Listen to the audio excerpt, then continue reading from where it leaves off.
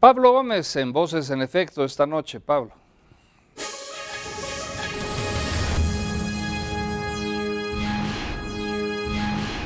Algunos piensan en nuestro país que las críticas enderezadas contra el gobierno federal y que consisten básicamente en considerar que estos años del sexenio de Calderón están signados por el fracaso en su lucha contra la delincuencia organizada.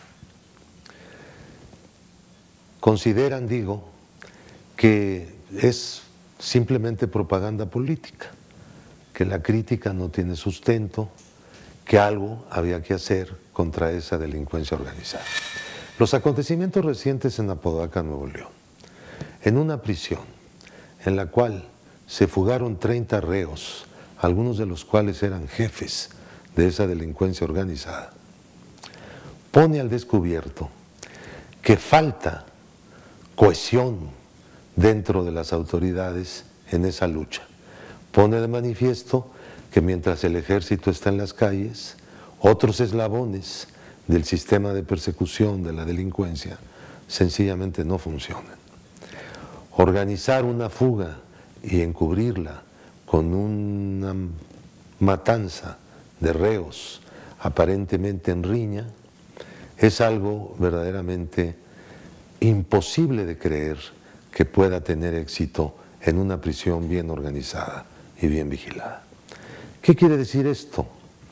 Que la delincuencia organizada no solamente ha copado los órganos de gobierno y su funcionamiento normal, sino que también las prisiones, seguramente también juzgados, seguramente también otros eslabones de la cadena del Estado.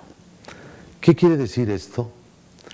Pues que esa estrategia la estrategia tomada hace más de cinco años contra la delincuencia organizada ha sido un completo fracaso, lamentablemente. Habría que hacer otra estrategia y llevar a cabo una lucha contra esa delincuencia que tenga las cuatro patas bien puestas sobre la tierra.